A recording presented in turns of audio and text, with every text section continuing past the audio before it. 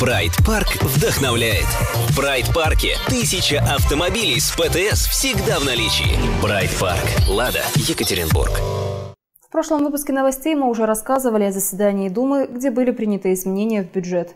На этом же заседании рассматривался еще один немаловажный вопрос о внесении изменений в генеральный план Асбеста, что позволит получить городу статус территории опережающего развития. Однако большинство депутатов не поддержали предложение администрации о введении изменений в генеральный план. Эту ситуацию мы попросили прокомментировать депутата Думы Дмитрия Александрина. Дмитрий Викторович, 11 октября состоялось заседание Думы нашего города. Среди множества прочих вопросов был вопрос о территории опережающего развития. Давайте напомним э, нашим э, жителям города предысторию этого вопроса. Ну, программа по территории опережающего развития – это государственная программа поддержки малых городов, моногородов, которые э, построены вокруг одного предприятия. И для того, чтобы выйти из этого положения, э, наше правительство, президент Российской Федерации придумали вот такую программу в рамке многих, э, которая помогает городу э, выжить в этой ситуации. Э, для того, чтобы строились новые предприятия, открывались новые производства. То есть э, диверсификация производства производилась в городе, чтобы были разные, разные направленности. Значит, э, естественно, что для того, чтобы предприятия открывались именно здесь, государство значит, принимает эту программу, которую, которая является вообще большим трудом э, Министерства экономики, администрации города, Думы Асбестовского городского округа. И готовится она ну, иногда даже больше года, потому что действительно очень много условий. И нужно же сюда привлечь на эту территорию инвесторов, инвесторов да, и, и, и потом государство, принимая эту программу, целенаправленно а, на этой территории дает налоговые льготы. Поэтому инвестор сюда идет, значит, и при этом э, еще и привязывают к местности, значит, и, соответственно, открываются новые рабочие места, и люди не разъезжаются, а остаются жить здесь. Вот этот вопрос уже возникал на Думе э, в этом году, в начале, по-моему, года. Почему-то он как-то вот э, не прошел. Что случилось? На самом деле весной, когда этот вопрос э, э, фракция коммунистов в Думе зарубили, он, для нас это было определенным шоком, да и, в общем-то, для всех горожан. Потому что, ну, действительно, полтора года а, вместе с администрацией, вместе с Министерством экономики готовили вот этот проект. Титанический труд. Это огромный труд. Значит, там э, с каждым инвестором нужно проработать инвестиционную программу. Нужно посмотреть, что это за предприятие. Нужно привязать к определенным Э, к определенной земле, скажем, да, участку. Да, да. Там должны быть все коммуникации. И там очень много документов, которые проходят государственную экспертизу, еще нужно пройти. И вот, а, ну и надо ведь сказать, что мы не одни такие. Нужно еще побороться с другими городами. Нужно показать эту инвестиционную привлекательность. Все ведь хотят.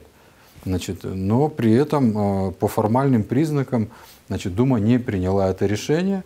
Э, представители КПРФ были против, значит, они сказали всем людям, что а вдруг туда зайдет сурьмяное производство.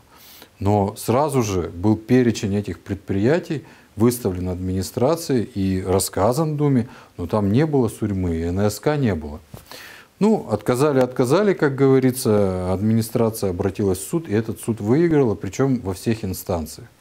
И вот сейчас э, Дума должна была выполнить Э, решение суда. То есть, я правильно понимаю, суд обязал Думу принять проект вот этого решения. Совершенно верно. Значит, э, правильно это решение называется изменение градостроительного плана, специально для того, чтобы можно было дальше э, ТОР уже начать, как говорится, представлять эти документы на конкурс.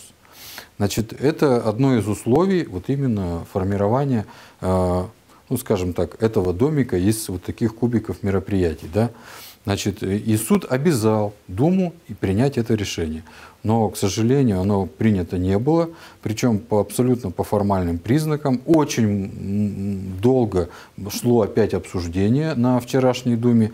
Значит, очень долго и, и по-моему, как-то ну, абсолютно неаргументированно выступали ораторы, которые были против этого конце концов закончилось тем вообще, что давайте вернем администрации на доработку, чтобы проект решения просто разделили на три части. Но разве из-за этого можно не принимать решения вообще? И, и оно, к сожалению, э, представителями КПРФ было не принято. Значит, 9 э, человек проголосовали за это решение, 10 человек проголосовали против. А чем это грозит асбесту сегодня?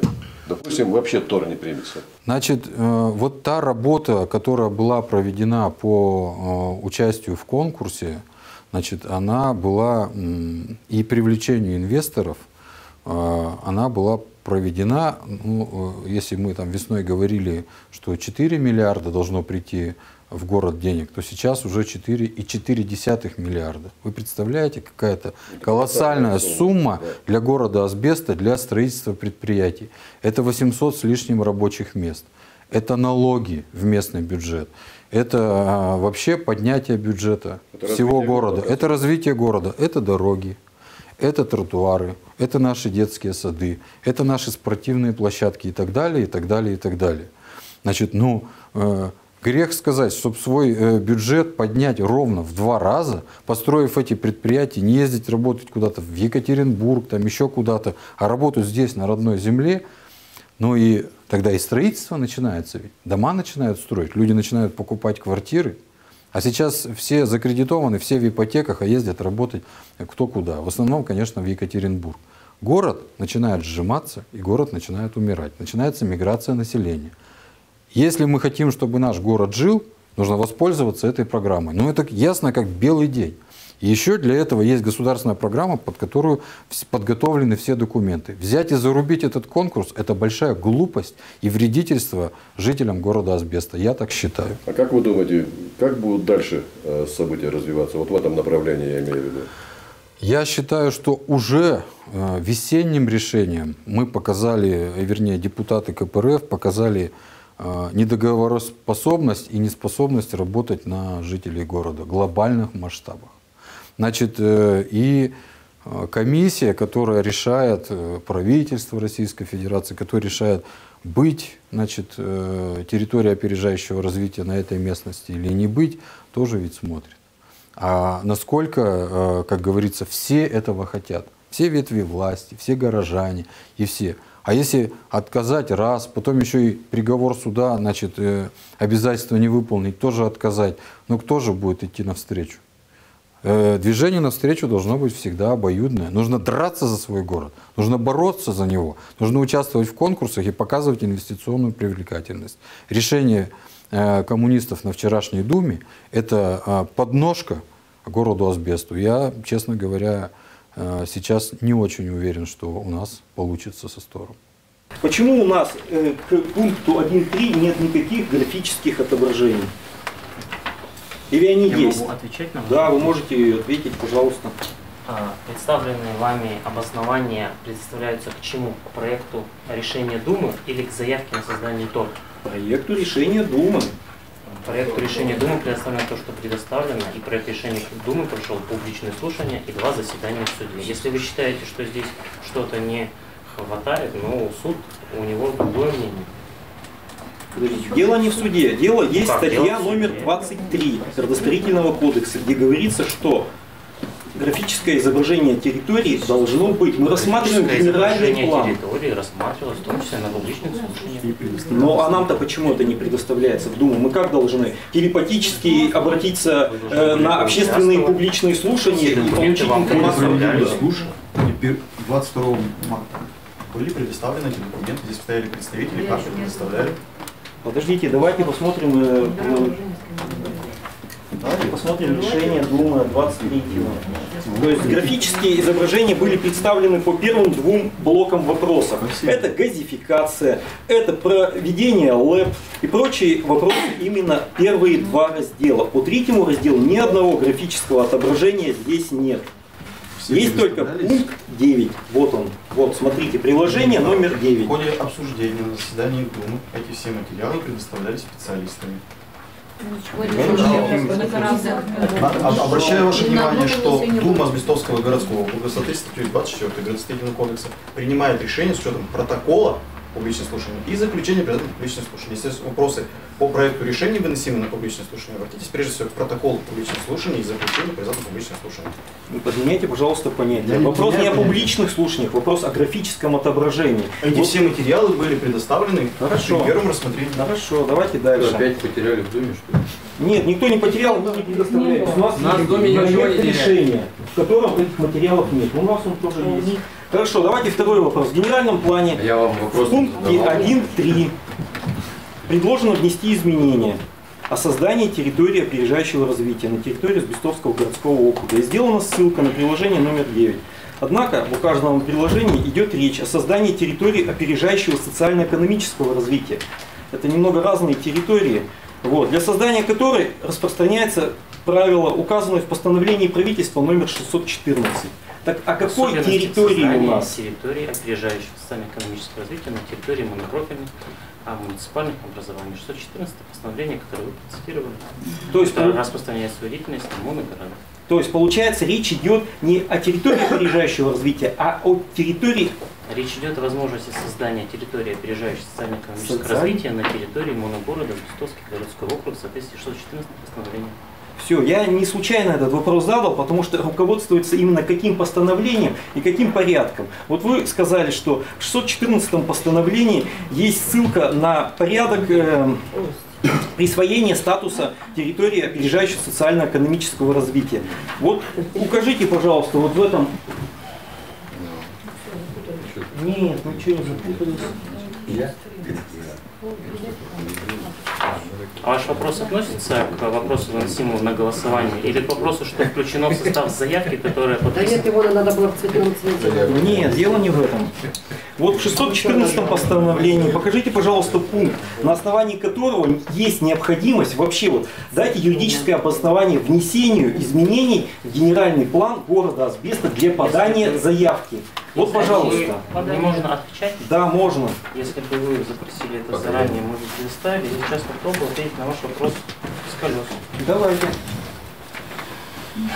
614 постановление правительства об особенностях создания территории опережающей социально-экономического развития на территории монопрофильных муниципальных образований. Пункт 2. Для создания территории опережающего развития на территории моногородов и продления соответствующих сроков предоставляются следующие документы. Здесь пункты с пункта А по пункту П. В частности, пунктом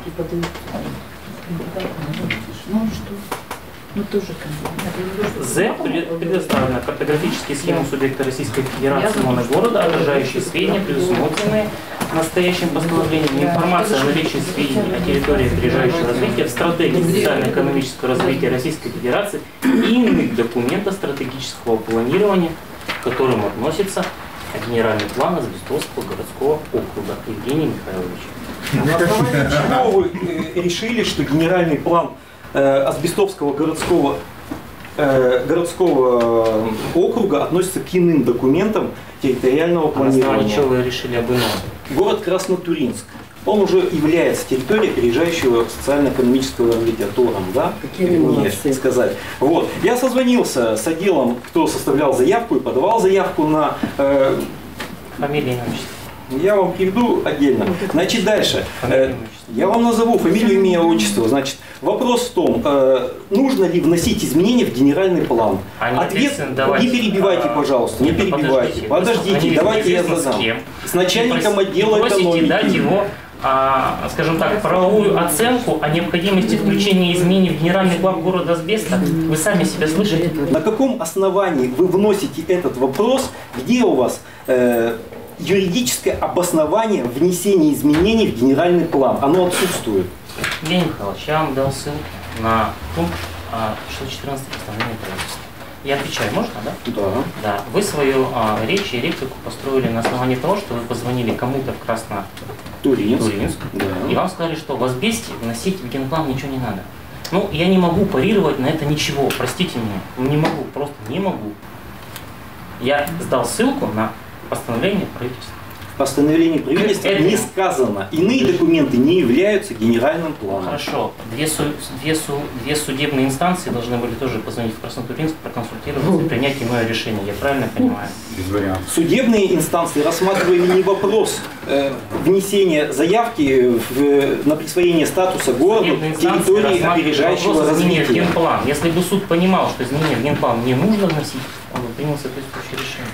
Ввиду того, что в 614 постановлении правительства о порядке внесения заявки э, о создании территории опережающего социально-экономического развития отсутствует пункт о внесении изменений в генеральный план, э, раз- э, генеральный план развития муниципального образования. Я считаю, что это внесение преждевременно. Предлагаю отправить на доработку э, В арбитражный суд. нет. главе Азбестовского городского округа. Для города Асбеста практика принятия решений через суд, вот это совершенно та практика, которая не дает перспективам развития. Я каждый раз, каждому из депутатов говорю, есть претензии, придите и скажите в глаза. Ни один за все время не обращался, не говорил. Сегодня мы рассуждаем ТОР, инвестиции, перспективы и будущее, а все равно уходим в суд и разбираемся между собой. Откровенно говоря, деля кресла.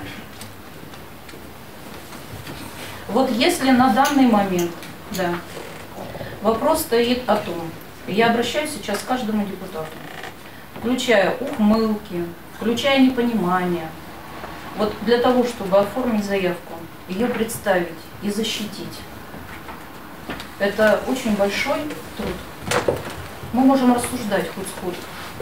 Изначально по обязательствам, что здесь не будет тюрьмы. Сегодня об этом речь не идет. Я обращаюсь к каждому из вас. Наш бюджет, наш бюджет, который мы имеем сегодня, с которым каждый из вас, я могу, кстати, прямо озвучить это. Депутат Гарипов, не сделанная дорога. Депутат Полушин, не сделанные пешеходные переходы. Депутат, получается, у нас э, Коптюк, не э, устроенный и не сделанный, сегодня не приняли решение счетчики. Депутат Давыдов, решение экологических вопросов. На все требуется формирование доходной части. Наша доходная часть треть от того, что нам датируют. Мы имеем дефицит бюджета. Мы имеем кредиторскую задолженность, которую вот сегодня есть камень преткновения. И мы не имеем права говорить о завтрашнем дне. Я обращаюсь к каждому из вас. Здесь нет, я еще раз говорю, Тора. Не вам и не мне решение принимать, будет территория опережающего развития или нет. Я очень признательна депутату Шабанову, что он позвонил. Съездите в Краснотуринск и посмотрите, что за год сделано там и что за год сделано в Азбесте. Принимая такое решение, мы сегодня и завтра не видим даже в отношении наших детей появления новых производств, формирования доходной части. За счет чего? За счет того, что за глаза мне говорят, помоги сделать дорожку на Махнева. Да с чего ее сделать-то? Вот он, кошелек, который принять не можем. Ну это ведь, это же элементарные вещи. Нет доходной части, нет расходов. Перед жителями, минуту, Мы минуту, меня не надо закрывать. По именно перед жителями, я считаю, решение должно быть принято объективное. Да, м, э, вношу на голосование э, предложение Шибанова.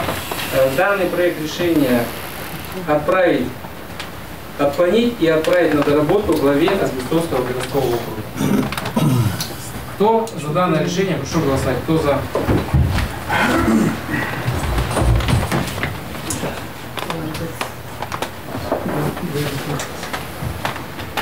Десять человек. Кто против?